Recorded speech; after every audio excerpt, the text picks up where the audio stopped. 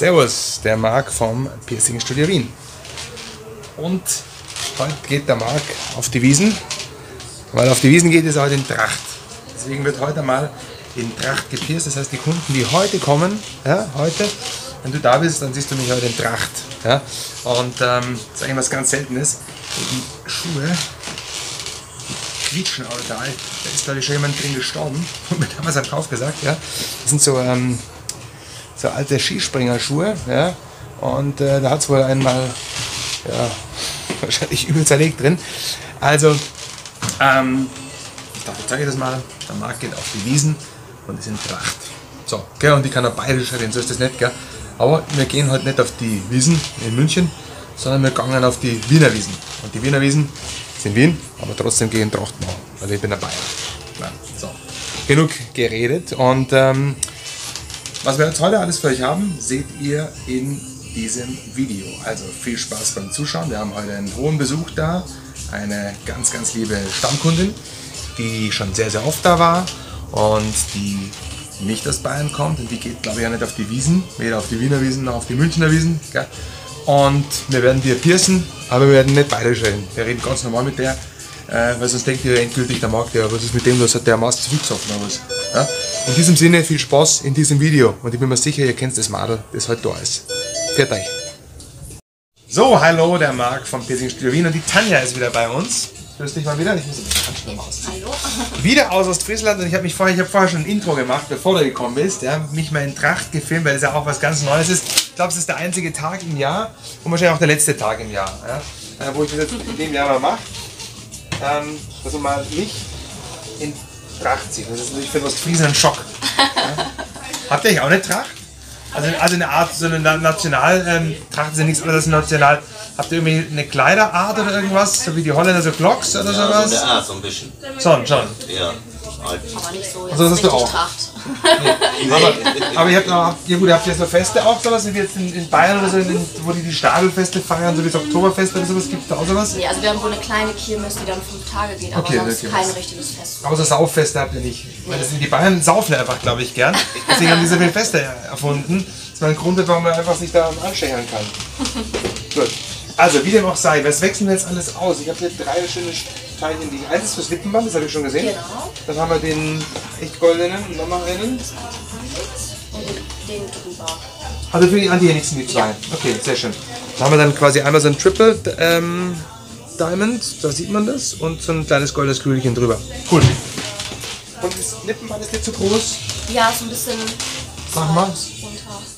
Ja, es ist, ist bei dir eine Grenze. Also ich bin Ja. auch der Meinung, dass wir es jetzt einen Tick kleiner machen. Aber es ist noch der vom Stechen, oder? Hast du gar nicht angefasst, oder? Hast du schon was Äh, gemacht? doch, hast du beim letzten Mal Ach, stimmt. gewechselt. Das Genau. war ein erstes Mal, das ist das dritte Mal. der drin war, ja. Wir haben gerade festgestellt, Tanja ist das dritte Mal da und macht immer drei Piercings. Ja. Ist gut. Ja. Das. Wie, wie heißt das? Was ist mit dreimal Ostfriesen? Was? Dreimal ist aus Friesenrecht. Dreimal irgendwas zu machen. Ist das Friesen? Also in Ostfriesen darf alles dreimal machen. Ja. Ja, das ist auch, ist auch nicht schlecht, du. Wenn ich nach dem Standard arbeiten würde, wir haben drei Versuche, beim- bis es gerade wird, dann würden die Leute nicht mehr kommen, du. Okay, zum Glück bin ich gar nicht Friese, du. Äh, leg dich mal kurz hin, Tanja. Und sonst geht's gut? Ja. Wie bist du hergekommen, wieder Flugzeug? Wieder mit dem Flugzeug. Hat dir irgendeiner geschrieben, irgendwie, ob du einen Umweg fährst, ne? Von, oder war das nicht bei dir? Ja, doch, ich sollte, glaube ich, jemanden mitnehmen. Hat jemand gefragt. Ja, irgendwie so, Ja. oder? Ja, die Leute denken, komm auf. Aber klar, ich meine, Ja. Wenn es gehen würde, so einfach, klar, Klar. why not, oder? So, ähm, ja, aber das tun wir mal kurz von drüben filmen, dann seht ihr mal, wie man so ein Antihelix wechselt. Das können wir mal kurz machen. Dass man das sieht, wie man sowas wechselt dort. Die Wups. Wir stechen nachher noch Tanjas Mutter Ohrlöcher, aber das dürfen wir nicht filmen. Aber, aber, aber sagen dürfen wir es ja, ne? Ja.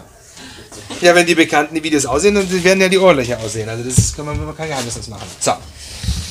Du, warum hast du zwei Termine gehabt? Du hast einen von, von äh, Dingen. Ja, wusstest wir nicht genau, wann du kommst, oder? mit dem ähm, Flugzeug, weil die ja am Streiken sind.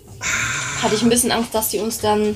Wo weil der du hatte gestern schon über eine Stunde Verspätung Von von, du Hamburg aus diesmal. Von Hamburg, ja, immer ich- von Hannover aus. Ich hatte nämlich jetzt auch eine Kunden, ähm, die sind aus, auch aus Hamburg gekommen, auch, aber nur für einen Tag. Und das war echt zart. Mhm. Die hatten ähm, einige Intimpiercings gebucht und hätten eigentlich, glaube ich, um drei da sein sollen. und haben dann am 3 angerufen, dass sie jetzt gerade gelandet werden.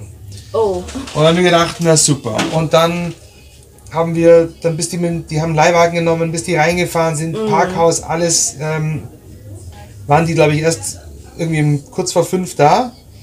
Und wir haben dann mit Mühe und Not versucht, alle Kunden anzurufen, dass die früher kommen, Ja. Damit wir die Luft nach hinten haben, weil wir ja nicht wussten, wann die dann wirklich, wirklich effektiv hier im Studio stehen.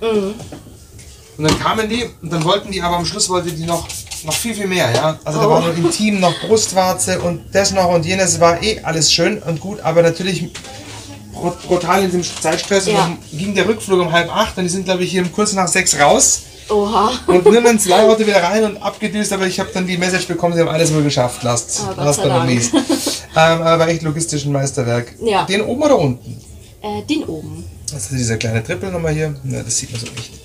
Der ist ja noch so. Aber es ist sehr schwer zu filmen mit der Handykamera. Oben hast du gesagt. Unten. Ja. Oben. Also dass die goldene Kugel so unten. Die soll unten, ist. im Genau. unteren sein. Na gut, ich hätte es andersrum gemacht, aber wurscht. Ja? Aber, aber nee, stimmt, du hast ja, du hast ja, stimmt, Wegen der Blumen, du willst ne? einrahmen. Jetzt macht es aber das Sinn. Sonst hätte ich es nämlich andersrum gemacht, aber in dem Fall macht es dann wieder Sinn. Wie lange hast du jetzt die Antihelix? Äh, seit Anfang Juli. Also Das heißt, die waren die drei letzten. Monate. Ge- Ja, richtig. Wann war das erste Mal da? Das war im Mai. Das war, nee, das war Anfang Juni. Okay. Und dann Anfang Juli wieder, ja, und jetzt Oktober. Ja, ihr müsst euch mal überlegen, aber für Tanja vielleicht eine Wohnung hier kaufen, ne? so, oder anmietet. Und zweite wohnt jetzt in Wien, oder? Wäre Ja, wäre schlecht. nicht schlecht. Wie eine schön. Ja, mega schön. Also. also wenn man so lebt wie, wie ich hier, dann merkst du es natürlich oft nicht mehr. Aber wenn du dann mit den Kunden redest, die halt dann so schwärmen und halt dann auch mal sagen, ja, sie waren jetzt dort und da, denke ich mir teilweise auch, Mensch, ja, ist schon, ist schon krass, was wir alles hier geboten haben. Ja. Bin mal gespannt. Also ich war schon mal auf dieser Wiener Wiesen. Das ist ja so ein Oktoberfest für Arme. äh, und da war es, aber das war vor Jahren das allererste Mal. Da war ich beim ersten Mal irgendwie eingeladen und dann, äh, da weiß ich noch, also das war halt, da waren, da war es wirklich sehr klein. Also zwei Zelte, da bin ich halt mit dieser Einstellung hingegangen, ich gehe irgendwie in ein Wiesenzelt von, wie man das aus München kennt. Und da war ich dann wirklich, ehrlich gesagt, eher sehr, ist denn los mit dem Teil? Enttäuscht, weil natürlich klar, das war einfach die falsche äh, Einstellung, die ich dann mitgenommen habe. Jetzt bin ich gespannt, war ich fünf Jahre lang nimmer. Der Schock hat so lange gebraucht, für in Bayern das zu verarbeiten und dann ich bin heute Abend gespannt, aber anscheinend muss das richtig groß geworden sein. Also das, diese Wiener Wiesen, die ist jetzt zig Zelte anscheinend. Bin mal gespannt. Ja. Was mich geärgert hat, damals gab es keine Maßbier. Und ich muss sagen, ein Maßbier, hast du mal Maßbier getrunken? Nee. Warum nicht? Was ist mit dir los? Was machen? Ja, und ähm, also das ist halt ein Liter. Papa hat sogar mal eins getrunken. Und natürlich ist das Ding erstmal schwer und alles. Und in Wahrheit trinkst du eh nur den, die, das Nockerl bleibt immer drin, wie, wie die Bayern Ja. sagen, unten. Weil das sauft keiner, weil das ste- steht dann immer ab. Aber es ist, schmeckt einfach anders aus so einem dicken Maßkrug. Ein Liter Bier, so kalt, zischig, das ist einfach anders als ein halb Liter Krug. Ja. So Krüger. Und der Krüger, finde ich, kriegst dann jeder in jeder Kneipe. Ähm, das finde ich immer so. Ich hoffe, dass die heute Abend ein Maß Bier auch haben. Sonst glaube ich, ist schon wieder. Das ist schon wieder das letzte Mal, fünf Jahre, als ich da war. So, dann tauschen wir noch das aus und dann gucken wir mal. So. Ja, das mit dem Streiken ist wie gesagt mühsam. Und bei den Kunden aus, aus Hamburg, was ich erzählt habe, da, da war eben auch der Streik. Also die waren irgendwie am Flughafen dann, alles, die hatten es geplant, glaube ich, dass die um 12 losfliegen, um 1 ankommen und dann gemütlich reinfahren und dann um 3 den Termin haben. Eigentlich alles so perfekt. Ja. Dann haben die aber eben so lange da rumgedadelt mit dem Streik. Das war, glaube ich, auch der erste Tag, wo das so spontan beim Hinweg hat es geheißen, ja, Fluglotsenleih waren das irgendwie. Oder irgend, irgendjemand hat da rumgemacht. Ja, ich glaube nur von Ryanair. Wir Ja, irgendwie ja so. Glück. Und keine Ahnung, und dann haben die halt, auf einmal ging dann eben nichts mehr und dann saß der im Flugzeug drin und stand am Rollfeld und ist quasi von Minute zu Minute ist der nervöser geworden, weil die da zwei Stunden am Rollfeld rumstanden. Und gedacht habe, so, anrufen, gut, wollten sie nicht, dann hätten sie wahrscheinlich mit der Stewardess Ärger gekriegt. Und dann sind die halt immer, immer kleiner geworden. Und ihr seid mit wem jetzt geflogen? Mit? Eurowings. Wir? Eurowings? Eurowings, ja. Die haben nicht so gestreikt, oder weniger? Nee, die hatten nur eine Stunde Verspätung, aber das geht ja noch. Wie lange seid ihr jetzt da? Bis Freitag. Wieder, schön. Ja. Jetzt war der, wie gesagt, habt ihr schon eigentlich alles, alles gesehen, oder? Mein, okay. Ja. So die wichtigsten, oder? Sachen. Ja.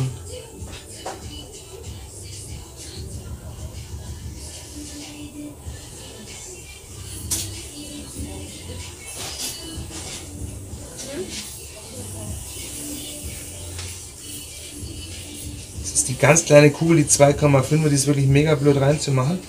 Ist drin. Ich gebe dir vielleicht gleich mal den Spiegel, ja, das mal kurz schauen, ob dir das gefällt oder nicht. Ja, danke. Ja, das ist gut. Super. Ja? Sehr gut. Das Knarzen übrigens sind meine Schuhe. Das ist nicht das Gebälk, was hier so kracht. Das ist äh, meine so alte Skispringerschuhe. Ich glaube, der ist einer drin gestorben. Deswegen sind die so, äh, so laut. Ich habe wirklich gekauft in so einem historischen Trachtladen. Also in München, die haben halt so ganz alte Trachten. Ja. Wirklich von Jahrhunderten alt und da haben wir diese, diese Schuhe ergattert. Ja. ähm, und deswegen sind die so laut. Aber es ist ein komisches Bequem, das sollte man nicht glauben. So. Tanja, dann sind wir mal durch. Ja. Alles dran, alles Super, drin. sehr schön. So, dann starten wir mal mit den neuen Projekten. Okay, dann machen wir mal einen kleinen Cut im Video. Jetzt machen wir Teil 1, das Wechseln, und dann machen wir den Teil 2, wenn wir Tanja stechen. Also in diesem Sinne schon mal danke fürs Zuschauen und schaut euch den zweiten Teil auch an, wenn wir jetzt gleich mal wieder zu Tausch streiten und nochmal alle guten Dinge sind. Drei. Äh, was war dreimal ist es aus Friesenglück oder wie ist es? Aus Friesenrecht. Aus Friesenrecht, ja, aber Glück auch vielleicht. Ja. In Ja. diesem Sinne, gleich geht's weiter. Ciao.